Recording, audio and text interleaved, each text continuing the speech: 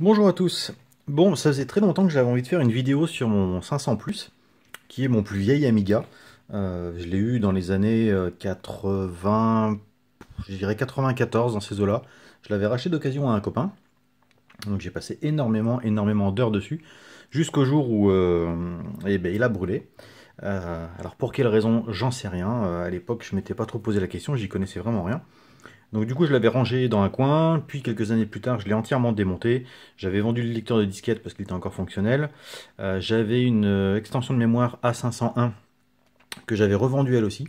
J'avais toute la pile de lecteurs de disquette externes, je crois que c'était 4 euh, à l'époque. 3 ou 4, je sais plus exactement, donc j'avais tout revendu. Bref, j'avais gardé que la carte mère, les composants, le clavier, lui qui est d'origine, et je crois que c'est tout. J'avais même le moniteur, mais le moniteur lui l'a rendu l'âme. Je m'en servais pour jouer à la PlayStation à l'époque. Euh, donc dans, je sais pas, vers 2011, je commençais à avoir un peu plus de, connaissances en électronique et j'ai eu l'occasion de, remettre la main sur, euh, sur la carte mère que je n'avais pas jetée. Par contre, qui était dans un état déplorable. Euh, de plus, j'avais laissé la pile dessus.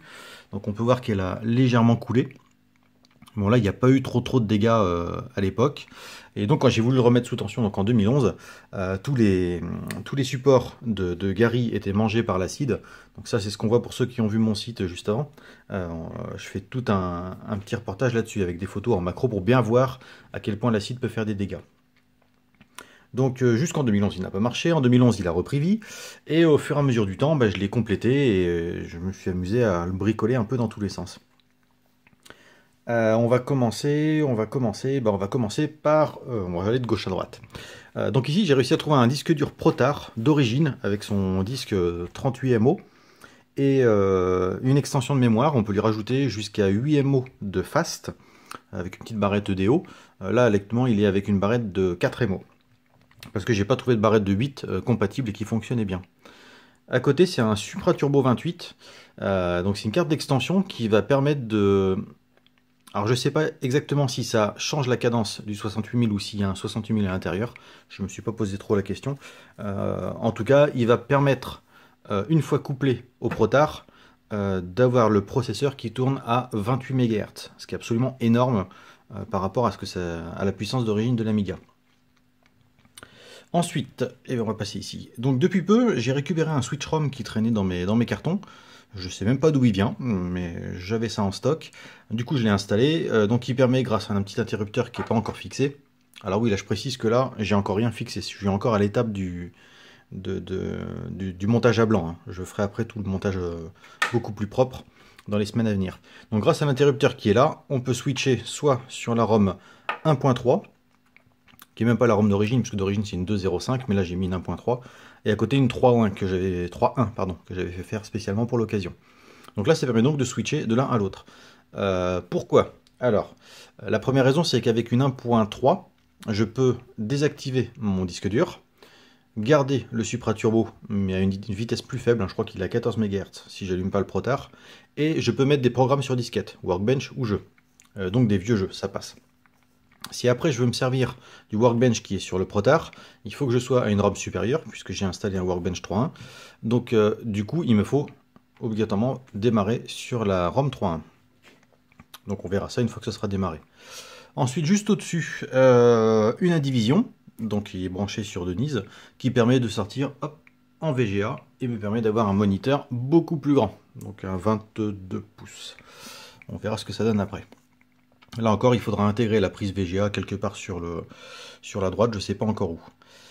Ensuite, euh, la carte accélératrice. Alors à la base, c'est une A501 euh, sur laquelle j'ai fait un piggyback. C'est-à-dire qu'en fait, on a superposé euh, les modules mémoire et avec un petit... bon, je mettrai les liens dans la, dans la description pour que vous alliez voir le site de Jet27 où, où, toute la manip est expliquée. Donc l'avantage, c'est qu'on va la passer de 512 MO à 1 MO. Et donc, elle va s'additionner à la mémoire chip.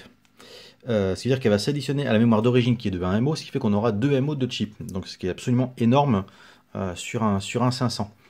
Euh, que dire d'autre? Ah oui, là, bien sûr, pour avoir cette, euh, cette modif, il faut absolument avoir un Fatagnus, hein. donc le modèle qui est là, qui est donc le 8375R. Euh, je crois que c'est ça. Non, 2891 pour la référence. Si vous n'avez pas un 2891, vous ne pourrez jamais avoir les deux MO de chip. Donc voilà. Et eh bien, on va reposer le clavier de façon à ce qu'il ne nous gêne pas. Ah oui, on voit aussi le bouton reset hein, sur le côté. Bon, je mets ça sur tous les miens, sur tous mes Amiga. Bon, ça permet d'appuyer sur un bouton plutôt qu'une combinaison de touches pour faire un redémarrage. Hop, clac, c'est rentré. Et on met ça en route. Donc, ah oui, petite particularité du Protard, il n'y a pas d'interrupteur dessus. C'est directement en branchant l'alimentation qu'on va le lancer. Donc ce qu'il faut faire, c'est lancer le Protard, et une fois qu'il est démarré, on lance l'Amiga.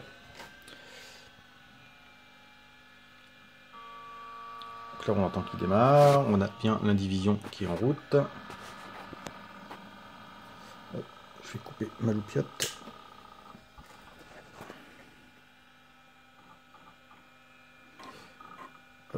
L'Amiga a cherché s'il y avait une disquette. Elle n'est pas insérée, donc il ne l'a pas trouvée.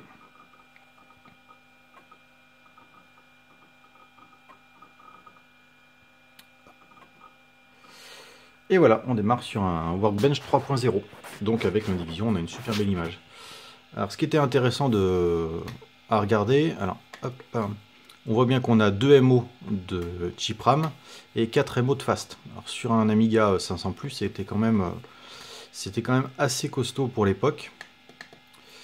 On va aller chercher dans logiciel un petit tour sur 6 infos. Hop, on va aller faire un tour en speed. On va le laisser calculer gentiment. Voilà. Et là, on voit donc, donc le 68000 tourne bien à 28,90 MHz avec 2 MO de, de, chip, bien évidemment. Donc on voit quand même que ça envoie, ça envoie plutôt pas mal. Et donc sur la mémoire, on a bien 4 de fast et 2 de chip. Donc là, euh, ça fait quand même un petit 500 en plus qui est pas, euh, qui est pas négligeable. Hop. On voit que ça réagit, euh, ça réagit plutôt pas mal. Alors aussi avec l'indivision, on pourrait, en la flashant, parce que là je suis en version 1.0, donc c'est vraiment la version de base de l'indivision, en la flashant en dernier firmware, on peut passer à des résolutions de 800 par 600 avec Super Plus. Mais bon, je ne l'ai pas installé, donc euh, je préfère rester sur ma version 1.0 avec une résolution basique, euh, plutôt que de retenter euh, des réglages d'indivision improbables où on ne sait jamais où on va. comme j'ai pu faire avec mon Amiga 1200, ça a été un véritable arrachage de, cheveux.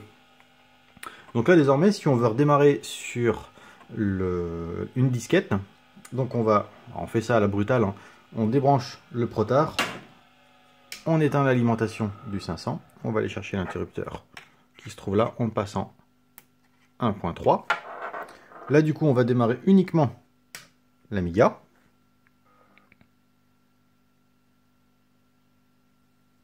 Alors, j'ai pas débranché le protard, j'aurais peut-être dû parce que je vois qu'il est, euh, il s'est mis sous tension. On va voir s'il cherche la disquette. S'il la cherche pas, ça marchera pas. Et visiblement, ça ne marche pas. Ah, les aléas du direct. Alors, on va donc éteindre tout ça. On va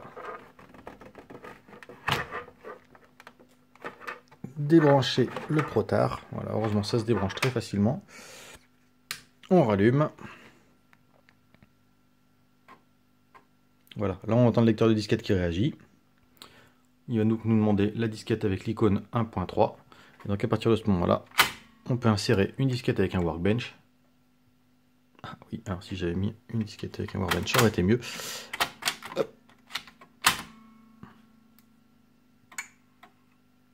Ah bah non, ah bah en fait ma disquette est complètement HS.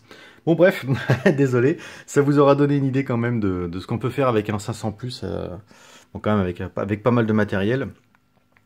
Euh, mais c'est quand même relativement sympa à utiliser.